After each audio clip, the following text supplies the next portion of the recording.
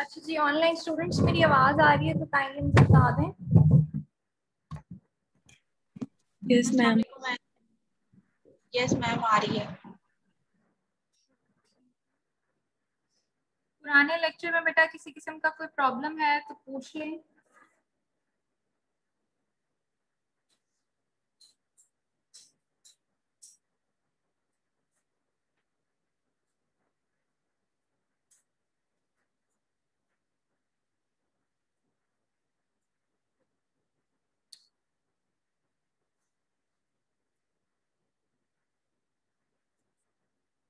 अच्छा जी हमने नी drawing start किया था। बच्चे इधर आ जाओ, पंखे के नीचे आ जाओ।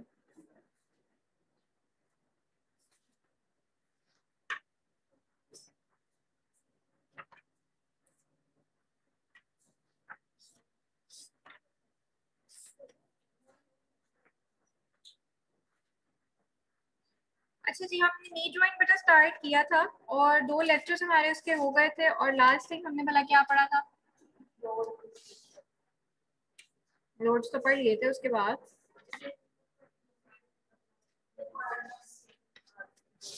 हाइपोमोबिलिटी बेसिकली हमने हाइपोमोबिलिटी को डिस्कस किया था कि वो किस किस वजह से हो सकती है पेन को डिस्कस किया था और फिर उसकी जनरल जो है ना वो हमने मैनेजमेंट देखी थी। आज हम बात करने लगे हैं लिगामेंट्स की इंजरी के बारे में। ठीक है? थोड़ा सा हमने उसको पहले भी डिस्कस किया हुआ है। जब हमने जनरल लेगामेंट्स पढ़े थे हमने इंजरी और मैकेनिज्म ऑफ़ इंजरी वगैरह थोड़ा सा जो है वो डिस्कस किया था बट आज इसको थोड़ा दोबारा डिटेल में देख लेते हैं। साथ में थोड़े से नी के टेस्ट हैं जो हम आ, देखेंगे आज वीडियोस इसमें हैं लेक्चर के अंदर। ताकि आपको आइडिया हो कि आपने जब असेसमेंट वगैरह करनी है तो उसमें आपके कौन कौन से टेस्ट आप कर सकते हो। तो सबसे पहले लिगामेंट इंजरीज में अगर हम बात करें नॉन ऑपरेटिव मैनेजमेंट पे हमारे, अभी हम सर्जरी की तरफ़ नहीं जा रहे, ठीक है? नॉन ऑपरेटिव मैनेजमेंट में सबसे पहले जो इम्पोर्टेंट चीज़ आ जाती है वो ये है कि मैकेनिज्म ऑफ़ इंजरी जो है ना, वो आपको पता हो कि आखिर हुआ क्या था जिसकी वजह से बेसिकली जो मोड है इंजरी का, वही आपको बताता है कि आपके कौन कौन से स्ट्रक्चर्स जो है वो एड्रेस हो सकते हैं जिनमें किसी किस्म की इंजरी आ सकती है। अब अगर हम लेगामेंट्स के अंदर देखें तो सबसे ज़्यादा जो कॉमनली इंजर होने वाला हमारे पास लेगामेंट है, वो है एसीएल ठीक है? लास्ट में हमने डिस्कस किया था कि एसीएल जो है, वो बेसिकली आपको क्या लिमिट कर रहा होता है? हाइपर एक्सटेंशन को लिमिट कर रहा होता है। टिबिया की हाइपर एक्सटेंशन को लिमिट करता है। और इसकी जो इंजरी है ना, वो मोस्ट कॉमनली या फ्रीक्वेंटली ये वो एज है यंग और मिडल एज जो आ जाती है। ट्वेंटी टू फोर्टी ईयर्स के दरमियान का जो एज आ जाती है। उसमें ये इंजरी ज़्यादा कॉमन होती है। अब इसकी रीज़न क्या है? क्योंकि ये लाइफ आपकी फ़ेज़ वो है जो कि मोस्ट एक्टिव फ़ेज़ होता है। उसमें आपकी स्पोर्ट्स भी होंगी, उसमें आपकी रिक्रिएशनल एक्टिविटीज़ भी होंगी हॉबीज़ भी होंगी। हर तरह की जो है वो चीज़ हम इस एज के अंदर कर रहे होते हैं, ठीक है? जो बिल्कुल आपकी वो है यंग एज या जिसको प्री यंग एज या जो चाइल्डहुड आप कहते हो उसमें भी बहुत सारी एक्टिविटीज़ हैं जो कि आप नहीं करते और ओल्ड एज के अंदर जाके भी बहुत सारी रिस्ट्रिक्शंस आ जाती हैं तो वो ऑटोमेटिकली आपको बहुत सारी चीज़ों से बहुत सारी इंजरी से सेव भी कर रही होती है। ये एज जो है इसके अंदर आपका एसीएल लेगामेंट का रप्चर होने का और इंजर होने का चांस जो है ना वो सबसे ज़्यादा होता है। इंटीरियर क्रूशेट लेगामेंट अब इंटीरियर क्रूशिएट लेगामेंट जो है, वो इंजर होता कैसे है? ये बोथ कॉन्टैक्ट और नॉन कॉन्टैक्ट इंजरीज दोनों के अंदर जो है, वो हो सकता है। अब कॉन्टैक्ट इंजरीज क्या है? लाइक स्पोर्ट्स इंजरीज स्पोर्ट्स कैसे है कि अचानक आपको जो है, वो कोई ब्लो इस तरह का आया है लेटरल साइड पे तो वो आपके मीडियल मेनिस्कस को भी तोड़ रहा है साथ में, जैसे हमने पीछे बात भी की थी अनहोली चाइल्ड की बात की थी। कि वो आपका मीडियल मेनिस्कस को भी रप्चर कर रहा है मीडियल कलेक्ट्रल लेगामेंट को भी कर रहा है और साथ में आपका एसीएल भी इंजर हो रहा है। तो फुटबॉल जो इंजरीज हैं या sports injuries high contact injuries जो है, वो स्पोर्ट्स आपकी बास्केटबॉल आ जाती है, आपकी रग्बी है, आपकी फुटबॉल है बेसबॉल है और कौन कौन, वैसे बेसबॉल कॉन्टैक्ट नहीं है। और कौन कौन सी जिसमें बाकायदा प्लेयर्स का कोलिजन जो है, वो चांसेस हैं उसके। और कौन कौन सी स्पोर्ट्स आ जाती है हमारे पास। जिसमें प्लेयर्स का कोलिजन के जो चांसेस हैं, वो ज़्यादा हों। बास्केटबॉल है रग्बी है सॉकर है फुटबॉल हाँ और क्या हो सकता है? हॉकी के अंदर होता है?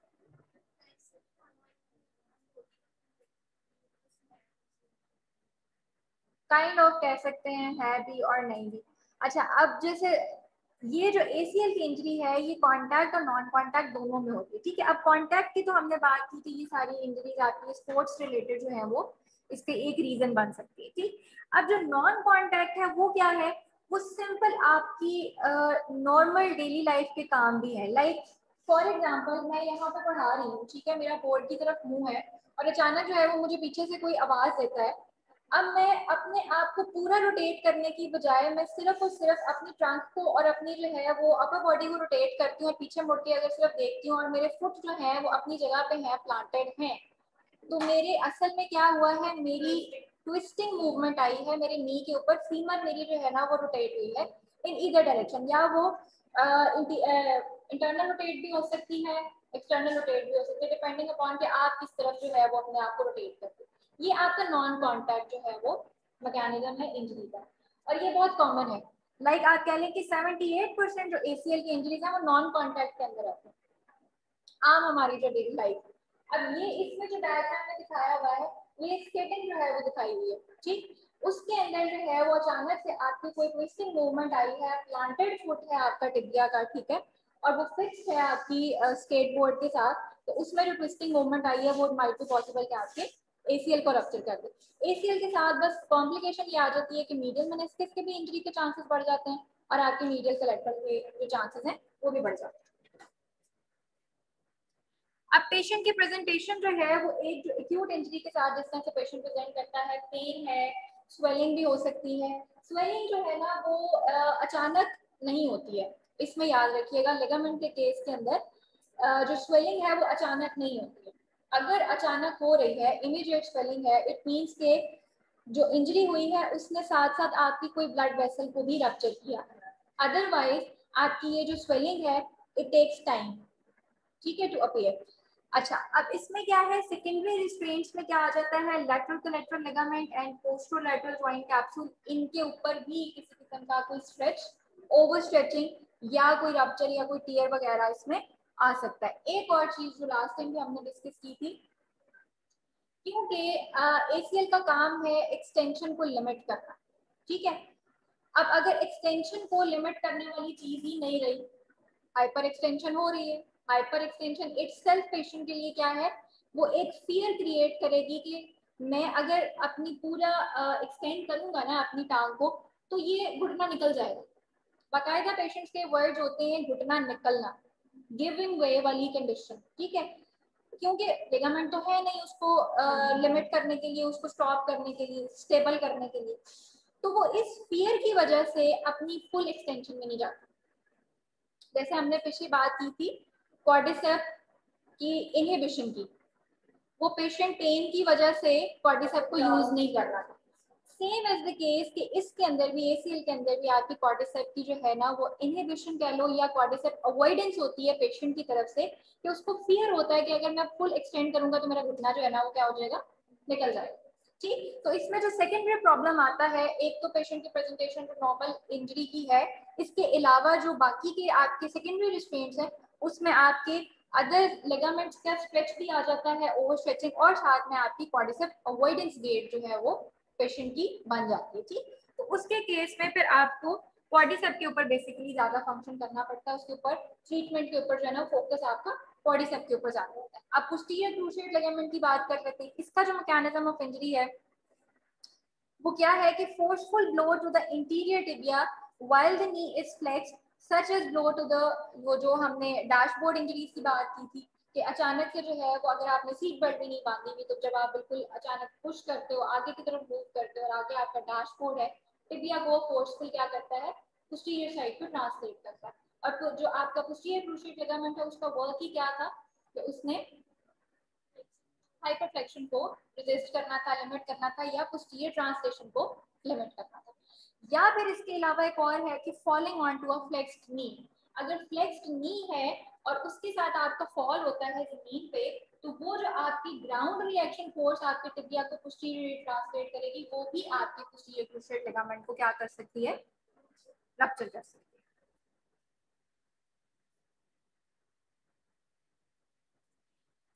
अच्छा जी, उसके बाद आ जाता है लेटरल कलेक्टर लिगामेंट ठीक है लेटरल कलेक्टर लिगामेंट जो है, वो आपके लेटरल साइड पे प्रेजेंट है, ठीक है? और जब भी वेरिस कंडीशन का आपको ब्लो मिलता है लेटरल साइड से ही, जो आपकी लेग को जो है वो इनवर्ड मूव करने की रीजन बनता है तो वो साथ में आपके क्या करता है लेटरल लिगामेंट को रप्चर करने की रीजन है। ठीक है, जैसे हमने लास्ट टाइम बात की थी ऑटोमोबाइल एक्सीडेंट्स में रोड क्रॉस कर रहे हो साइड से आके हिट किया गाड़ी, या स्पोर्ट्स के अंदर आपको साइड से आके जो है वो कोई प्लेयर जो है वो हिट किया है, ठीक है? तो ये भी कॉन्टेक्ट और नॉन कॉन्टेक्ट वैसे मोस्टली जो है वो कॉन्टेक्ट इंजरी की वजह से ही होगा, ठीक? अच्छा it is uncommon that more than one ligament or joint capsule and sometimes sometimes the menisci are damaged as a result of a single injury creating posterolateral instability uncommon है but हो सकता है क्योंकि आपको याद होगा कि लेटरल की एज सच डायरेक्ट अटैचमेंट नहीं है मेनिस्काई के साथ but depending upon the severity of injury कि ये अगर आपकी लेटरल uh, जो ब्लो uh, है उसके साथ साथ अगर आपकी ट्विस्टिंग इंजरी भी आ जाए तो इट माइट बी पॉसिबल कि वो आपके लेटरल मेनिस्काई को डैमेज कर सकती है although it's uncommon but sometimes ऐसा पॉसिबल है ठीक है और ये टेरिबल ट्रायड या वो जो अनहोली ट्रायड की हमने बात की जिसमें तीनों जो स्ट्रक्चर्स हैं माने हाँ जी बेटा जी बच्चे ख्याल किया करें, क्लास में आप अगर ऑनलाइन होते हैं तो अपने माइक्स को जरा ऑफ़ रखा कीजिए। अच्छा जी। अब जैसे मैंने आपको बताया कि जो उसकी स्ट्रक्चरल और जो फंक्शनल लिमिटेशंस की अगर हम बात करें तो जो स्वेलिंग है, वो फॉरन से आपको जो है वो डेवलप नहीं होती। ओवर द टाइम होगी ओवर द आवर्स होगी। अगर ये हो इमिजिएटली भी हो सकती है बट वो उस केस के अंदर अगर आपकी कोई ब्लड वेसल साथ में रप्चर होगी। ठीक? इंस्टेबिलिटी जो है वो उस वक्त आपको महसूस होगी जब कंप्लीट क्लियर हो। अदरवाइज़ जब भी आप उस लेगामेंट के ऊपर स्ट्रेच अप्लाई करेंगे, ठीक है तो पेशेंट को पेन होगा। ठीक है, वो जो हमने ग्रेड वन टू और थ्री आप लोगों ने पढ़े होंगे कि मतलब सिर्फ़ ट्वेंटी फाइव परसेंट आपके जो है वो फाइबर्स अगर रप्चर हो रहे हो that is grade one fifty percent तक जा रहा हो दैट इज़ ग्रेड टू और अगर कंप्लीट रप्चर हो रहा है तो दैट इज़ ग्रेड थ्री ठीक है? तो ग्रेड थ्री के अंदर जाके जो है ना वो आपको इंस्टेबिलिटी मिलती है। अदरवाइज़ ग्रेड वन और टू में पेशेंट के लिए सवेयर पेनफुल जो है वो ये कंडीशन बन जाती है। जब जब आप पेशेंट के उस पर्टिकुलर लिगामेंट को, उस स्ट्रक्चर को स्ट्रेच पोजीशन के अंदर लाओगे तो वो पेनफुल होगा। इसलिए पेशेंट जो है ना वो एक अपनी कंफर्ट की पोजीशन जो है वो अडॉप्ट करके रखता है और वो हमारे पास होती है यूजली फ्लेक्शन पोजीशन होती है 25 की। क्योंकि इसके ऊपर आपके एसीएल के ऊपर या इवन पीसीएल के ऊपर भी कोई एक्स्ट्रा जो है ना वो स्ट्रेच नहीं आ रहा। क्योंकि स्ट्रेच तो तब आएगा ना जब आप लिमिट के ऊपर जाओगे। या तो कंप्लीट एक्सटेंशन करोगे तो एसीएल के ऊपर स्ट्रेच आएगा या कंप्लीट फ्लेक्शन करोगे तो पीसीएल के ऊपर स्ट्रेच आएगा। तो वो नॉर्मल की पोजीशन जो दरमियान की पोजीशन है ना, उसको पेशेंट अडॉप्ट करके रखता है, जो उसके लिए काइंड ऑफ़ रहती है कंफर्ट की पोजीशन रहती है। ठीक है? और क्वाड्रिसेप मसल्स जो है ना वो इस वजह से क्या हो जाते हैं एसीएल के केस में इनहिबिट हो शट डाउन हो क्योंकि वो कंप्लीट उसको यूज़ नहीं करते When acute, the knee cannot be a weight and the person cannot ambulate without an assistive device. ठीक है acute injury के केस के अंदर पेशेंट के लिए जो वेट बेरिंग है ना वो मुश्किल हो जाती है खास तौर पे मिनिस्काई के केस में क्योंकि मिनिस्किस के ऊपर आना ही वेट है तो जब उसमें टीयर होगा तो उसके लिए वेट बेरिंग जो है ना, वो मुश्किल हो जाएगी। With a complete tear there is instability and the knee में में गिव वे वो जो मैं पहले बात की घुटना निकल जाने वाली जो एक फीलिंग है गिविंग वे वाली ड्यूरिंग वेट बेरिंग वो पेशेंट को जो है वो फील होती है। अब इसमें हमने करना क्या है? लिगामेंट्स के केस के अंदर हम क्या करेंगे कि इफ्यूजन से पहले पहले आप एग्जामिन करें। क्योंकि इफ्यूजन के इटसेल्फ जो है, वो कुछ ड्रॉबैक्स हैं, वो आपकी मूवमेंट को प्रॉपरली नहीं होने देते, ठीक है? आपको उसमें असेसमेंट जो है, वो प्रॉपरली आप उसमें नहीं कर पा रहे अगर जो आपका एक्यूट इंजरी है, उसमें आप कोल्ड थेरेपी यूज़ कर सकते हो, आप कंप्रेशन को यूज़ कर सकते हो, आप एलिवेशन को यूज़ कर सकते हो, आप रेस्ट को यूज़ कर सकते हो, ठीक है? इसके अलावा पेशेंट को, क्योंकि एम्बुलेशन में मसला है, ठीक है? बैलेंस में तो इशू होगा। तो असिस्टिव डिवाइसेस का यूज़ आप पेशेंट को करवाएँ, ज़रूर करवाएँ ताकि वो जो वेट बेरिंग के साथ पेन होती है पेशेंट उसको क्या कर सके अवॉइड कर सके, उसमें असिस्टेंस ले सके। टीच सेफ़ ट्रांसफ़र एक्टिविटीज़ ये बड़ा इंपॉर्टेंट है to avoid pivoting on the inward extremity अब देखो एसीएल की 78 परसेंट जो इंजरीज थी, वो नॉन कॉन्टैक्ट में थी। अब इसका मतलब ये है कि हमारी डेली लाइफ में ये जो पिवटिंग है, ये बहुत कॉमन है। ठीक है? तो यहाँ पे जो इम्पोर्टेंट चीज़ पेशेंट को समझाने वाली आ जाती है वो क्या आती है कि जो नॉर्मल एक्टिविटीज़ हैं नॉर्मल डेली लाइफ में जो आपकी मूवमेंट्स है उसके अंदर पिवटिंग का फैक्टर जो है ना वो कम से कम है। कहीं भी आपने ट्रांसफ़र करना है आपने अपने आप को टर्न करना है लाइक टर्न करते वक्त हमारा ज़्यादा क्या होता है हम सिर्फ़ रोटेट कर लेते हैं अब जैसे ये भी सही है तो मैं रोटेट कर रही एंड दैट्स इट हम अपनी पोजीशन चेंज कर लेते हैं। मैम आपकी आवाज़ बहुत आहिस्ता आ रही है। हाँ जी पेशेंट को समझाने की क्या ज़रूरत है कि आप अपने पिवटिंग की बजाय कंप्लीट लेग को क्या करें रोटेट करें।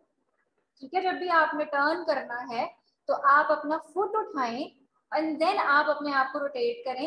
ये चीज़ आपको ज़्यादा जो है वो नुकसान देगी कि आप प्लांटेड फुट के ऊपर जो है वो रोटेट कर जाए ट्विस्ट कर दें वो चीज़ को बढ़ा देगी। अब वो जो क्वाड्रिसेप की इनिबिशन हुई हुई थी, वहाँ पे आपकी क्वाड्रिसेप की जो री एजुकेशन कह लो या उसकी जो एक्सरसाइजेज हैं वो वहाँ पे असल काम शुरू होता है और वो आप स्टार्ट करते हो मसल सेटिंग एक्सरसाइज ठीक है? स्टार्ट आप वहाँ से लेंगे। हाँ जी।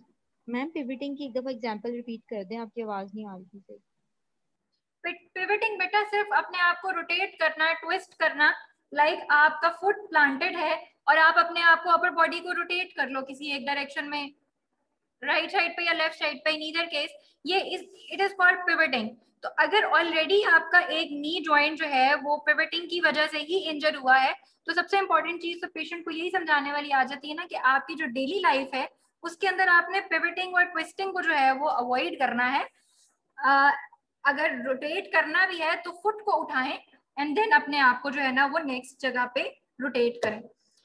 अच्छा जी, अब as the swelling decreases initiate ROM within tolerance ठीक? अब जैसे जैसे वो आप एक्यूट फ़ेज़ से जब निकलते चले जा रहे हैं तो फिर उसके अकॉर्डिंग आपका ट्रीटमेंट प्लान जो है वो चेंज होता जाएगा क्या अब फिर आप उसमें एम एक्सरसाइजेस को जितनी टॉलरेंस है, वो लेके आना शुरू करें। अब मॉडरेट प्रोटेक्शन फ़ेज़ के अंदर आप क्या करते हैं कि examine the patient for impairment in functional loss जो कुछ है, उसके अकॉर्डिंग फिर आपने उसको पेशेंट को लेके चलना है। ज्वाइंट मूवमेंट और एक्सरसाइजेस आप इनिशिएट कराएँगे। Use supine wall slides patellar mobilization अब ये वो सारी कंट्रोल फ़ेज़ के अंदर आप मोबिलाइजेशन भी करें। आप उसकी जो है वो स्ट्रेंथनिंग एक्सरसाइजेस के ऊपर भी जाएँ ठीक है? स्ट्रेचिंग को जो है ना वो यहाँ पे आ, इतना ज़्यादा यूज़ नहीं किया जाता क्योंकि अनलेस के आपकी कोई इमोबिलाइजेशन नहीं थी। जब तक इमोबिलाइजेशन नहीं है तब तक आपके कैप्सूल के अंदर स्ट्रेचिंग की ज़रूरत नहीं है ठीक है? तो स्ट्रेचिंग को इस टाइम पे हम अवॉइड करते हैं क्योंकि स्ट्रेचिंग इट आपके उस स्ट्रक्चर को भी तो स्ट्रेच कर रही है ना, जो लेगामेंट इंजर हुआ है। तो उसको राइट नाउ अभी हमने इतना खींचा तानी उसके साथ नहीं करनी। अनलेस कि आपका कोई ऐसी इंजरी नहीं होती कि आपके इमोबिलाइजेशन आपको करनी पड़े, तब जाके फिर हम स्ट्रेचेस की तरफ़ जाते हैं। अदरवाइज़ यहाँ पे स्ट्रेचिंग की कोई ज़रूरत नहीं है। ब्रेसिंग जो है वो समटाइम्स uh, जो है वो वेट बेरिंग एक्टिविटीज़ के लिए uh, ज़रूरी हो जाती है। ब्रेसिंग और स्प्लेंट में फ़र्क यही है कि जो स्प्लेंट है वो आपका इमोबिलाइजेशन क्रिएट करता है। जैसे आपका प्लास्टर ऑफ़ पेरिस है या एक्सटेंसिव स्प्लिंट्स होते हैं कि बैक स्लैब होती है और वो आपकी मूवमेंट को जो है ना वो रोक देती है। ब्रेसेस जो है ना वो आपके दो तरह के होते हैं। उसमें रेंज लिमिटिंग भी होते हैं और आपकी फंक्शनल ब्रेसेस भी होते हैं। ठीक है कि वो some excuse me ma'am ma'am आपकी आवाज़ ना बहुत दूर हो जाती है माइक काइंडली करीब कर लें। अच्छा जी बेटा ब्रेसेस जो है ना वो आपके दो तरह के हैं कि या तो वो रेंज लिमिटिंग भी होते हैं और दूसरे आपके फंक्शनल ब्रेसेस भी होते हैं ठीक है? अब रेंज लिमिटिंग क्या है कि ये आपके प्रोटेक्ट करते हैं उस स्ट्रक्चर को जिसको ये रिलेटिव इसके अंदर जो है ना वो इमोबिलाइजेशन आ रही होती है कि वो कम्प्लीटली तो आपको जो है वो इमोबिलाइज नहीं कर रहे लेकिन आपके वो जो स्ट्रक्चर जिनको हीलिंग की ज़रूरत है, उतना टाइम जो है वो आपको रिलेटिवली इमोबाइल करके तो आपको वो स्टेबलाइज भी करते हैं और आपको वो प्रोटेक्शन भी प्रोवाइड करते हैं। जो फंक्शनल ब्रेसेस हैं, वो हम यूज़ करते हैं एडवांस रिहेबिलिटेशन में and also when returning to functional activities ठीक? कि जब हम फंक्शनल एक्टिविटीज़ की तरफ़ वापस जा रहे होते हैं, उस टाइम पे जब हमें ज़्यादा स्टेबिलिटी की रिक्वायरमेंट होती है तो उस टाइम पे हम वो फंक्शनल ब्रेसेस जो है ना, वो यूज़ करते हैं कि हमें मूवमेंट भी मिलती रहे और हम स्टेबिलिटी भी हमें रिक्वायर्ड है। Initiate isometric quadricep and hamstring exercises and progress to dynamic strength and muscular endurance training. अब step by step आप किस तरफ़ जा रहे हो? Progression पे जा रहे हो। ठीक है? स्ट्रेंथनिंग पे आ रहे हो। पहले सबसे पहले आपने सेटिंग से स्टार्ट किया देन आप आइसोमेट्रिक पे आ रहे हो। उसके अंदर भी आप मल्टीपल एंगल से स्टार्ट करोगे। देन आप फुल जो है कंप्लीट एंगल आइसोमेट्रिक्स के ऊपर जाते हो। फिर आप प्रोग्रेस करते हो उसकी स्ट्रेंथनिंग के ऊपर के कंप्लीट रेंज के अंदर रेजिस्टिव जो ट्रेनिंग है आप वो कराना शुरू करते हो। फिर आप मसल इंड्योरेंस एक्टिविटीज़ की तरफ़ आते हो। तो स्टेप बाय स्टेप आपने क्या करना है पेशेंट को प्रोग्रेशन की तरफ़ लेके जाना है। ओपन चेन और क्लोज चेन आप दोनों को इनकॉपरेट करते हो, ठीक है? इसमें यह है कि ओपन चेन जो रेजिस्टेंस है has been shown to be more effective for increasing quadriceps strength then closed chain, single leg squat in patients with an ACL injury. अब ये रिसर्च की जो है, वो कोई रिसर्च की हुई है, उसका जो है, वो रिज़ल्ट है कि आपका ओपन और क्लोज का जो है, वो डिफरेंस चेक किया क्वाड्रिसेप की इन्हीं वो जो स्ट्रेंथ है डेवलप करने में। तो उसमें ये चीज़ देखी गई कि एसीएल के केस के अंदर अगर आप ओपन चेन रेजिस्टेंस एक्सरसाइजेस कराते हैं क्वाड्रिसेप की, वो ज़्यादा बेटर रहती हैं एज कंपेयर टू अगर आप क्लोज चेन एक्सरसाइजेस के ऊपर जाते हैं। क्लोज चेन के अंदर अगेन वो आपको एसीएल uh, इंजरी की वजह से ना वो इनिबिशन और अवॉइडेंस का फैक्टर आने की वजह से लैग का फैक्टर आने की वजह से इट माइट बी पॉसिबल कि पेशेंट जो है उसको फुली स्ट्रेंथन अप ना कर पा रहा तो ये रिसर्च है रिसर्च डिफरेंट उसके रिज़ल्ट uh, अच्छा अब क्लोज चेन में जब आप फर्दर जब मूव करोगे जब एक पोजीशन आपकी पेशेंट की ऐसी आ जाती है जब आप क्लोज चेन के बाद सॉरी ओपन चेन के बाद जब आप क्लोज चेन की तरफ़ जाते हो तो उसमें आपके पार्शल स्क्वाट्स हैं step ups leg press heel raises ये सारी एक्सरसाइजेज हैं जो कि हम फिर पेशेंट को क्या करते हैं एज अ ट्रीटमेंट उसको, उसमें ट्रेन करते हैं, ठीक? इसके अंदर फिर आपके जो है वो डिफरेंट न्यूरोमस्कुलर री एजुकेशन यानी प्रोप्रोसेप्टिव ट्रेनिंग और स्टेबलाइजेशन की तरफ़ भी हम जाते हैं।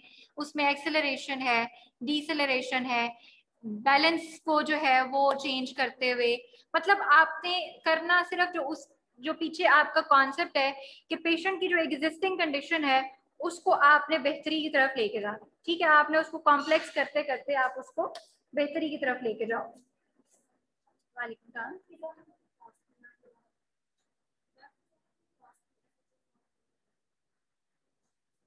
आगे क्या बोल रहे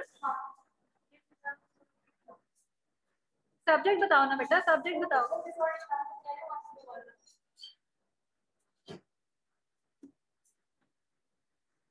अच्छा ये था आपका मिनिस्किस से रिलेटेड सॉरी लिगामेंट से रिलेटेड अब मिनिस्किस और लिगामेंट में ना सम चीज़ें जो है, वो कुछ कॉमन चीज़ें हैं। जैसे मैकेनिज्म ऑफ़ इंजरी जो है ना, वो भी काइंड ऑफ़ सेम ही है। वो किस तरह से है?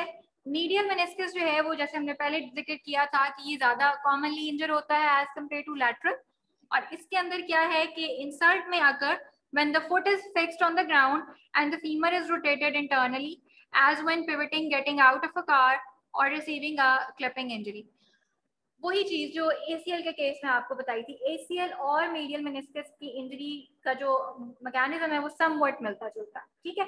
अब आप जरा गौर करो, ये जो एग्जांपल लिखी हुई है getting out of a car वाली एग्जांपल कि इसमें जैसे हम निकलते हैं, गाड़ी से निकलते हैं या बैठते हैं, उस वक्त भी क्या हो रहा होता है? हमारी बेसिकली पिवटिंग ही आ रही होती है with weight bearing in flex position वो आपकी लिगामेंट के साथ साथ आपकी क्या है? मेनिस्कस के ऊपर। मैक्सिमम जो है वो वेट बेरिंग कॉज कर रहा होता है वो आपके उसको रप्चर कर सकता है। ACL injury can accompany, often accompanies a medial meniscus. tear ठीक हो गया?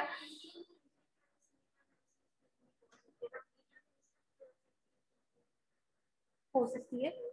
जब एक दूसरे के साथ अटैच हैं तो वाइस वर्षा चीज़ है। दोनों एक दूसरे के लिए जो है ना, वो रिस्क फैक्टर है। एक तरह ठीक lateral rotation of the femur on a fixed tibia may tear the lateral meniscus. अब वो lateral भी tear हो सकता है ऑल्दो कि उसकी रेशो कम है बट उसकी क्या है? सेम चीज़ कि अगर आपकी फीमर जो है, वो लैटरली रोटेट कर रही है एक्सटर्नली रोटेट कर रही है एट दैट टाइम आपकी क्या है? लेटरल मेनिस्कस का टीयर हो सकता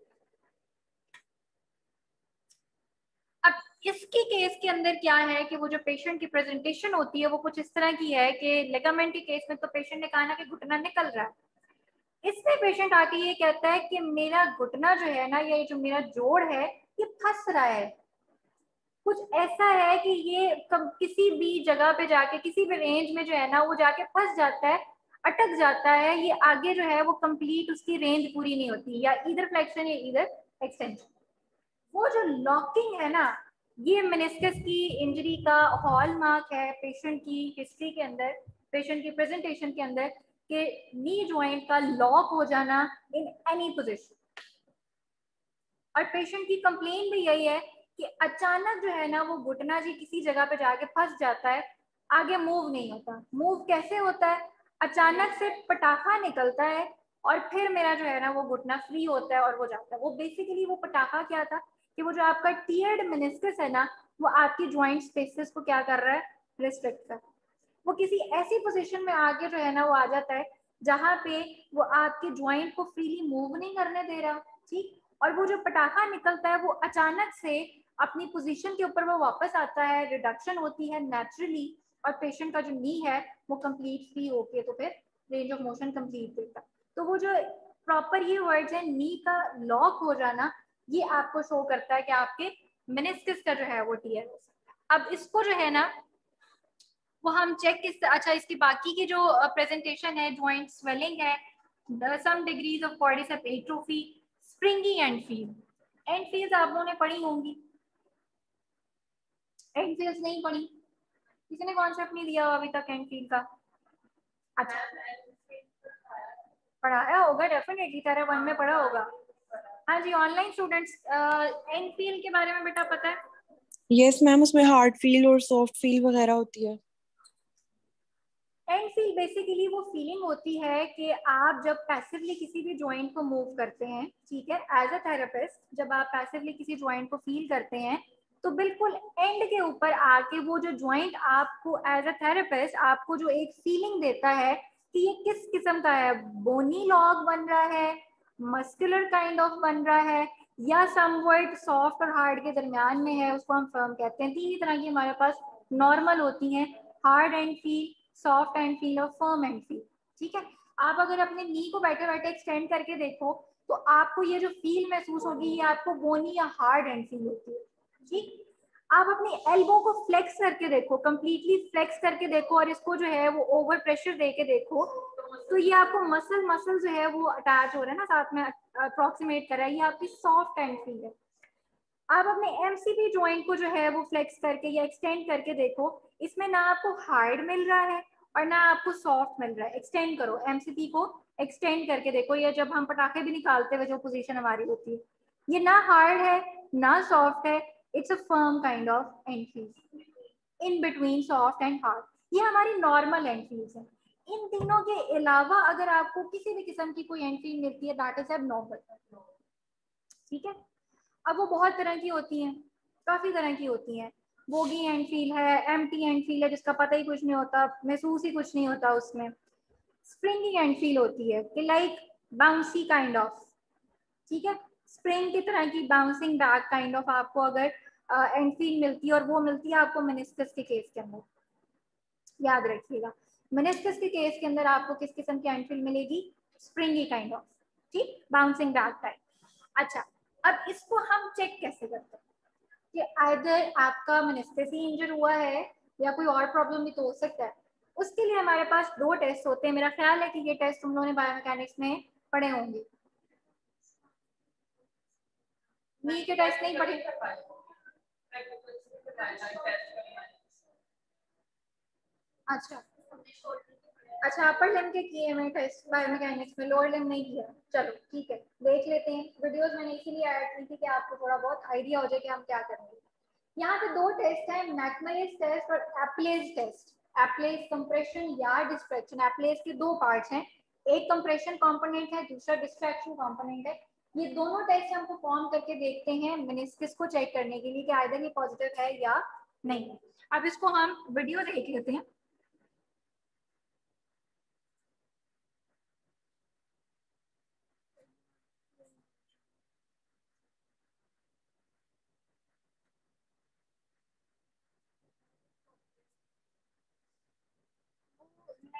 शेयर किया हुआ है, इसको हम कॉपी पेस्ट कर लेते हैं।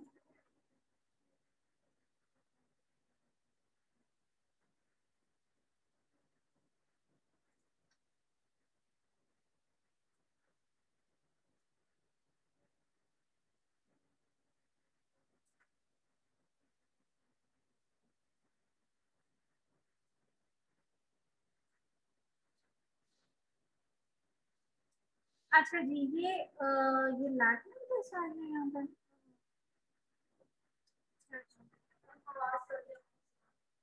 एक मिनट एक मिनट।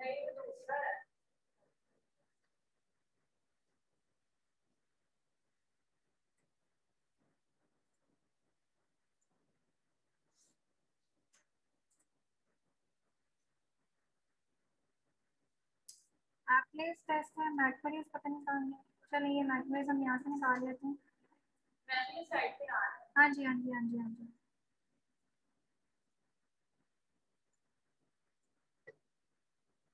अच्छा जी जो एप्लेस टेस्ट है उसको हम देख लेते हैं Perfection. While you this traction, perform lateral rotation of the tibia and medial rotation. You are looking for excessive rotation compared to the other side, all is comfort. Then repeat the same procedure while you are giving compression.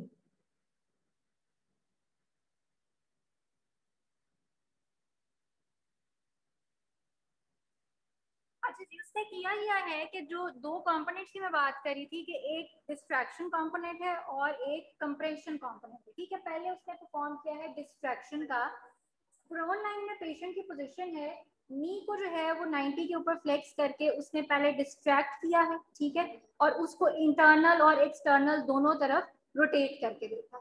उसमें pen का element जो है वो देखा गया है कि patient का पेन अगर उसको पहले हो रहा था तो क्या डिस्ट्रैक्शन से उसको रिलीफ हुआ है कि नहीं हुआ?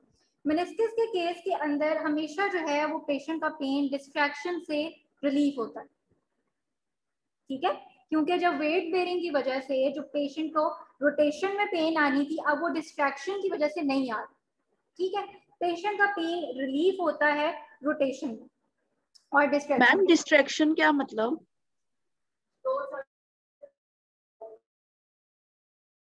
मैं आपको बता देती हूँ। एक मिनट एक minute Perform lateral rotation of the tibia. While you give this traction, perform lateral rotation of the tibia distraction होती है बेटा, दो ज्वाइंट सर्फेसिस को अपार्ट करना। अब यहाँ पे उसने किया यही है कि अपनी तरफ़ जो है वो पुल किया है एंगल से पकड़ के। ठीक है, वो डिस्ट्रैक्शन क्रिएट हुई है और उसके बाद लैटरल और मीडियल उसको रोटेट करके देखा ठीक, इसका दूसरा कंपोनेंट क्या था कि अब उसने अपना हाथ जो है वो एंकल के ऊपर या आप उसकी वो जो क्या है हील के ऊपर रख के आप उसको कंप्रेस करते हैं। ठीक या कंप्रेस करने के बाद अगेन आपने उसको क्या करना है रोटेट करना है लैटरली या मीडियल ठीक है इंटरनल या एक्सटर्नल आप उसको रोटेट करेंगे। अब जब आप कंप्रेशन दे रहे हैं वेट बेरिंग कॉज हो रही है विद रोटेशन पेशेंट का पेन जो है in case of meniscus injury बढ़ जाता है। तो वो जो पॉजिटिव साइन है, वो क्या है? पेशेंट का बढ़ जाना इन एप्लेस कंप्रेशन टेस्ट ठीक हो गया। ये आपका साइन है। कम हो जाए। हाँ हाँ। मिनिस्कस की इंजरी होगी तो यही होगा। अच्छा दूसरा टेस्ट है आपके पास। मैकमरीज टेस्ट है। उसको देख लेते हैं। McMurray's test, formulas for that. To conduct this test, patient in supine position with the test knee fully flexed.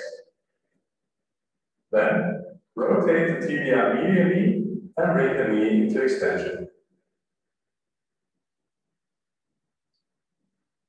You want to repeat this process a couple of times with a different angle of knee flexion in order to test the whole posterior aspect of the lateral meniscus. compress the medial meniscus, bring the knee into full flexion, and laterally rotate the tibia.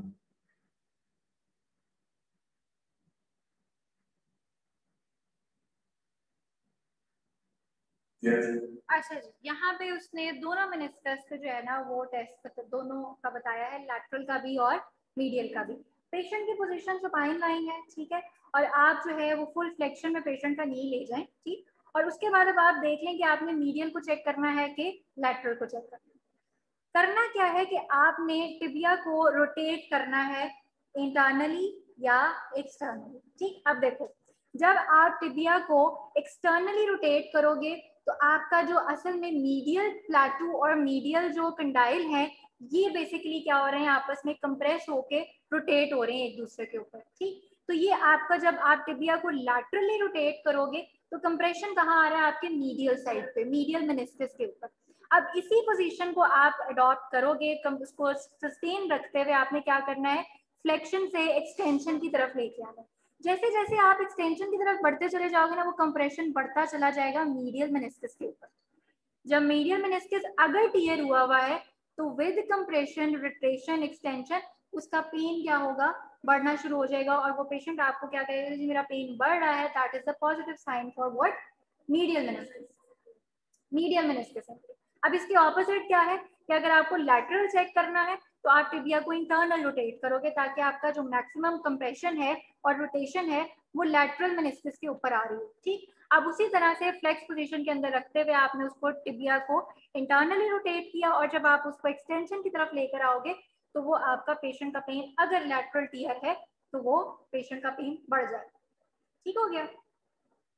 ये ये आपके आ, ये test था आपका मैकमलेस test और दूसरा test अभी हमने जो पहले देखा था वो था एप्लेस टेस्ट जिसमें आप कंप्रेशन और डिस्ट्रैक्शन दोनों के साथ आप उसको चेक करते मैम जो एप्लेस टेस्ट था उसमें स्टार्टिंग में जो था उसने एंकल जॉइंट को अपनी तरफ़ कंप्रेस किया था ना? कंप्रेस नहीं किया था, एक में जो आपका डिस्ट्रैक्शन है, वहाँ उस एंकल से पकड़ के उसको खींचा था, कह लो डिस्ट्रैक्ट किया था सेपरेट किया था, और एंकल से ही उसने क्या किया था, उसको कंप्रेस करके वेट उसके ऊपर ऐड किया था कंप्रेशन क्रिएट किया था।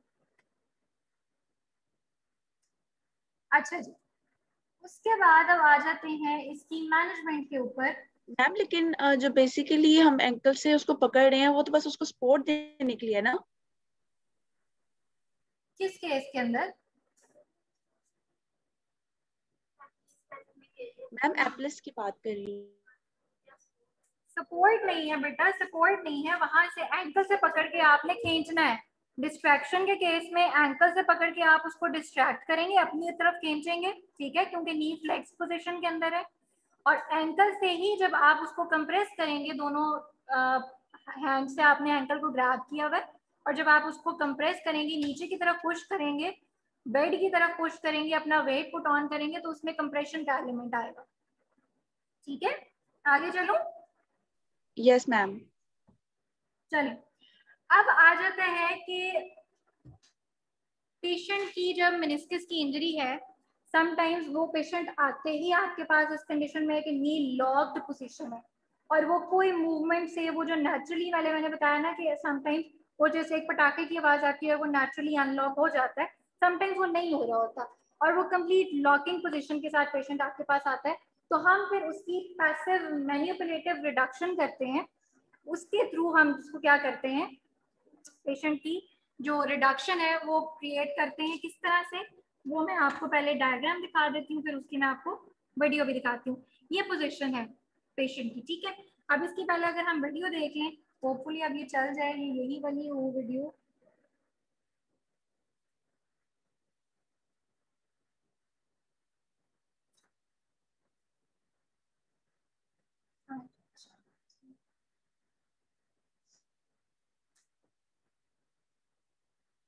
Okay, go ahead, next slide.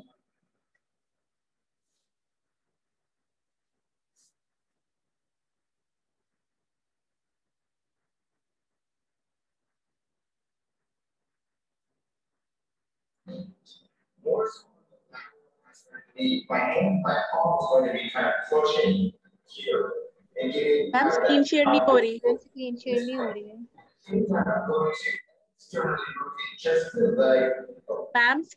नहीं हो रही अच्छा एक मिनट एक मिनट सॉरी बेटा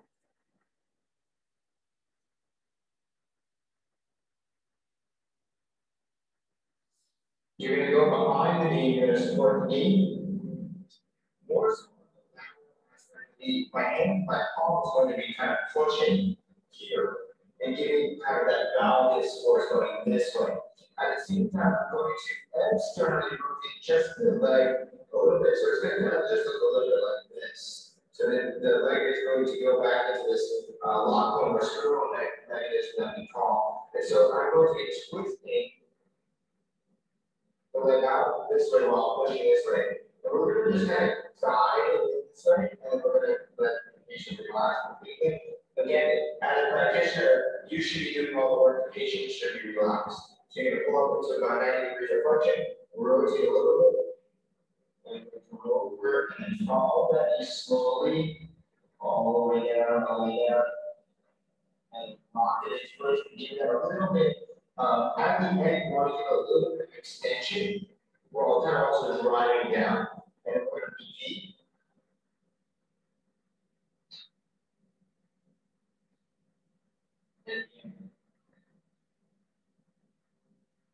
And so you should be checking for both before and afterwards uh, to check to check. अच्छा जी अब हुआ क्या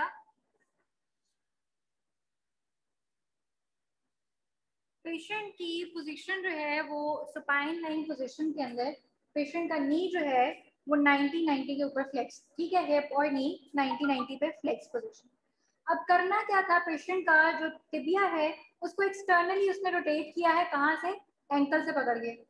ठीक है ना? एंकल से पकड़ के उसने उस पर टिबिया को एक्सटर्नली रोटेट किया है और दूसरा हाथ उसका कहाँ पे प्लेस था? नी की लेटरल साइड पे, जिससे वो क्या है उसको? वेल्गस स्ट्रेच दे रहा था। वेल्गस फोर्स दे रहा था, यानी कि उसको मीडियल साइड पे पुश कर रहा था। ठीक? अब जब मीडियल साइड पे पुश करेंगे तो आपकी लेटरल साइड से जब आपने मीडियल को पुश किया तो मीडियल साइड पे ओपनिंग क्रिएट होगी।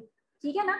वेल्गस जब आप फोर्स दे रहे हो तो मीडियल साइड पर थोड़ी सी ओपनिंग क्रिएट हो रही है।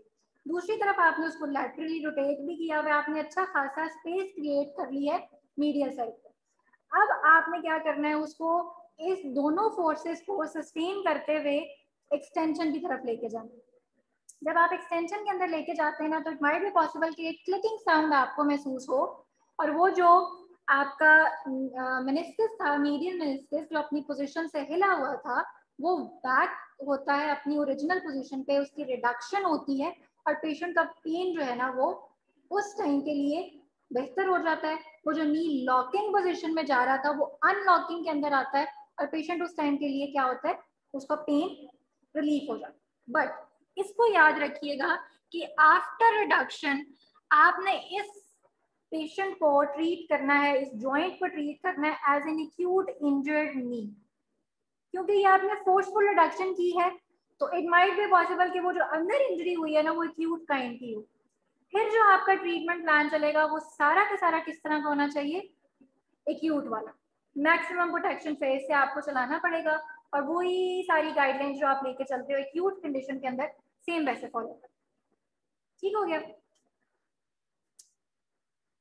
Exercises should be performed in open and closed chain uh, positions to improve strength and endurance. आगे जैसे जैसे आप उसको बढ़ाते चले जाओ। ठीक? अच्छा इसके बाद एक दो टेस्ट हमारे पास और रह जाते हैं जो कि लेगामेंट से रिलेटेड हैं उसको भी हम डिस्कस कर लेते हैं। आपके लेगामेंट टेस्ट को इसको खास तौर पे एसीएल को चेक करने के लिए एसीएल दोबारा रिपीट कर लेते हैं आपकी हाइपर एक्सटेंशन को लिमिट कर रहे हैं। अगर एसीएल इंजर्ड होगा तो क्या चीज़ ज़्यादा होगी? हाइपर एक्सटेंशन जो है, वो नी के केस में ज़्यादा हो जाएगी। इसको चेक करने के लिए हमारे पास दो टेस्ट हैं। एक है लैकमेंट टेस्ट और दूसरे हम कहते हैं? इंटीरियर ड्रॉर टेस्ट ठीक है?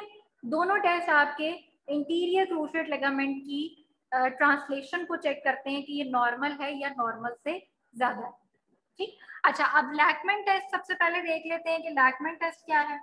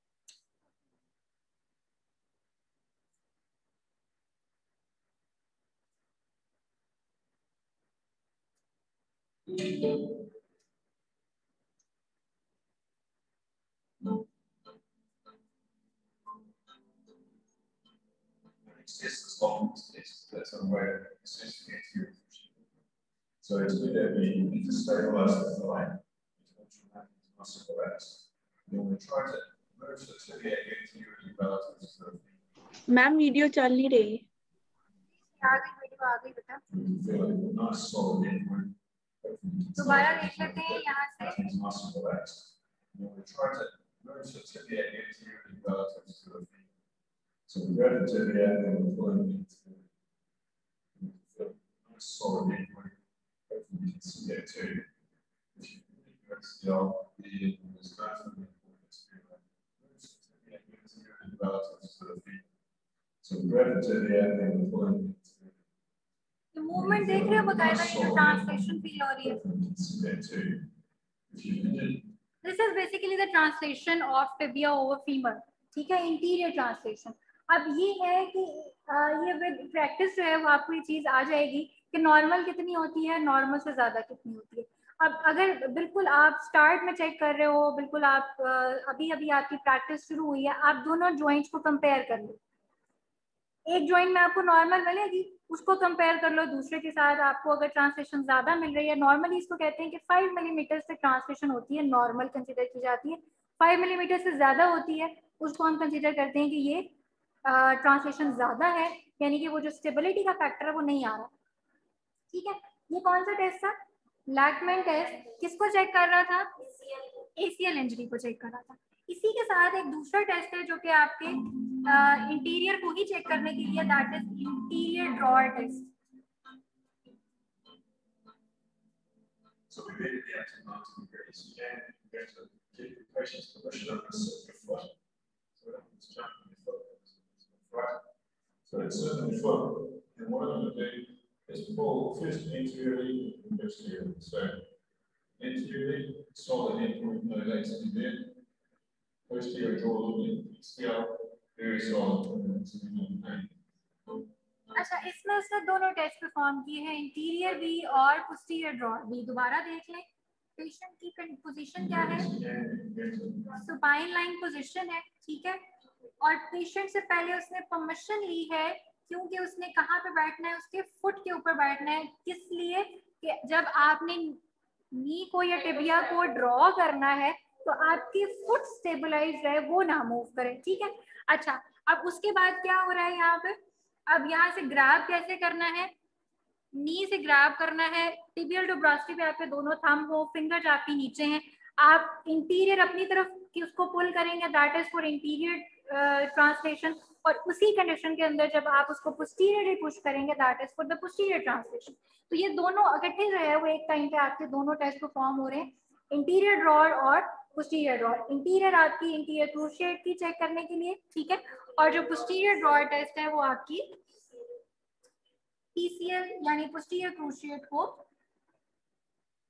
टेस्ट करने के लिए, ठीक है? यहाँ पे देख लेते हैं पोस्टीरियर ड्रॉर टेस्ट है इंटीरियर ड्रॉर टेस्ट है एप्लेस टेस्ट है, जिसका अभी मैंने आपको वीडियो भी दिखाई है कंप्रेशन और डिस्ट्रक्शन के साथ, ठीक है?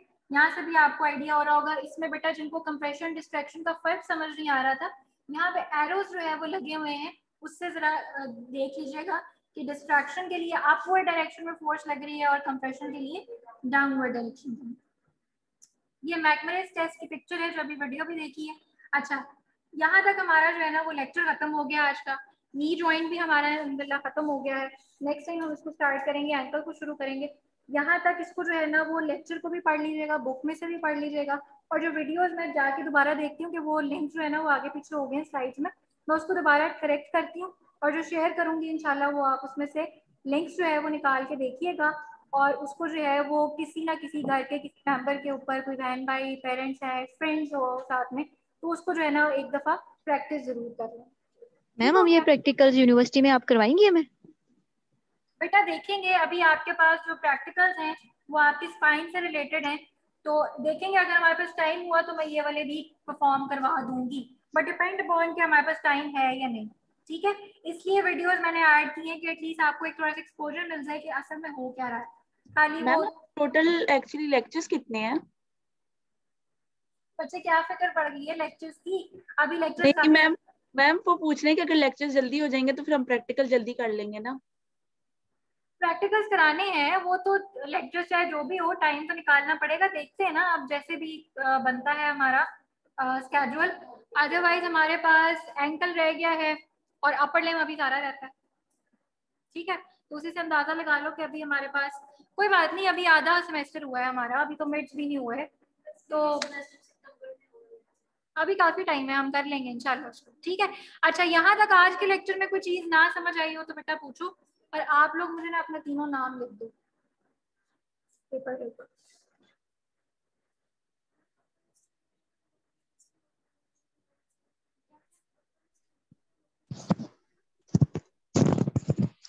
मैम मिट्स कब तक है हमारे?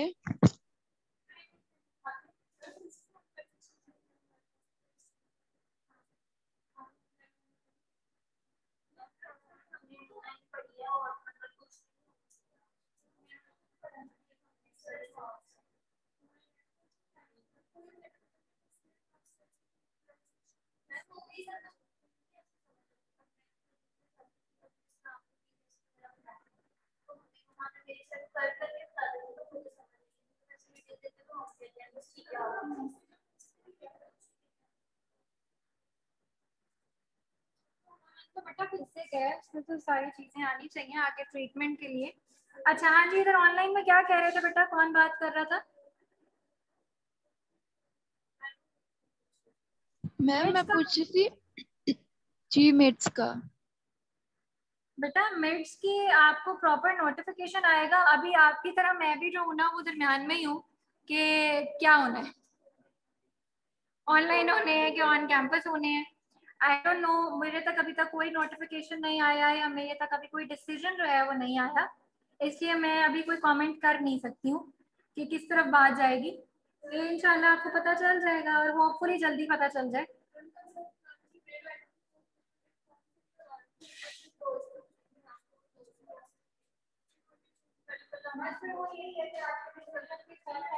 डिपेंड कर है अब देखो वो क्या चीज़ डिसाइड करते हैं यूनिवर्सिटी वाले, पता चल जाएगा होपफुली बस जल्दी पता चल आखिरी दिन ना पता चले ठीक है चलो, ठीक है, आप लोग जाओ ठीक है छुट्टी करो ऑनलाइन बच्चों, आप लोगों को कोई प्रॉब्लम है तो पूछ लीजिए अदरवाइज़ फिर इसको लेक्चर एंड करते हैं। अभी तक मैंने देखी नहीं बता देखती हूँ इंशाल्लाह मैम वैसे तो हम लोग ये टेस्ट परफॉर्म करें लेकिन एज अ फिजियोथेरेपिस्ट हम लोग अगर पेशेंट के ऊपर परफॉर्म करें तो हमें ऐसा क्या फील होता है कि मतलब हमें पता चल जाए ये टेस्ट जो है वो पॉजिटिव है। मैम उसके लिए तो प्रैक्टिकल जो है वो लाइव करके ही हमें पता चलेगा ना। पेशेंट आपको बताता है बेटा। पेशेंट का पेन जो है ना that is the sign positive और नेगेटिव पेशेंट का पेन बढ़ रहा है पॉजिटिव साइन है। कुछ नहीं हो रहा नेगेटिव साइन है। पेशेंट आपको बताता है। मैम मुझे स्प्रिंजी एंड फील है उसमें वो उसमें कैसे पता चलता है? हाँ स्प्रिंगी एंड फील ये जो एंड फील्स है ना बेटा ये आती हैं आपको एक्सपीरियंस के साथ। परेशान नहीं होना अगर पहली दफ़ा में नहीं समझ आई कोई बात नहीं। नॉर्मल समझ लो नॉर्मल तो समझ आ जाएगी ना खुद पे भी परफॉर्म करके देख लो कि आइडिया हो जाएगा। नॉर्मल आती होगी तो आहिस्ता आहिस्ता विद टाइम इस चीज़ को सीख लोगे। इवन मैं भी अभी तक सच्ची बात है एंड फील्स को बहुत अच्छी तरह से अप्रिशिएट नहीं कर पाती हूँ। ठीक है? मैम ये चीज़ें आती हैं आपकी प्रैक्टिस से। जैसे जैसे प्रैक्टिस बढ़ती जाएगी, आप इन चीज़ों को अच्छे से समझते जाओगे, इसलिए अभी परेशान नहीं होना, कोई बात नहीं। फ़ौरन से सारी चीज़ें समझ में आने वाली नहीं होती हैं। आज डेट क्या है बेटा? फोर्टीन चलिए, ठीक है बेटा जी। अपना ख्याल रखिएगा, इंशाल्लाह नेक्स्ट लेक्चर में मिलते हैं। ठीक है जी? अल्लाह हाफिज। अल्लाह हाफिज मैम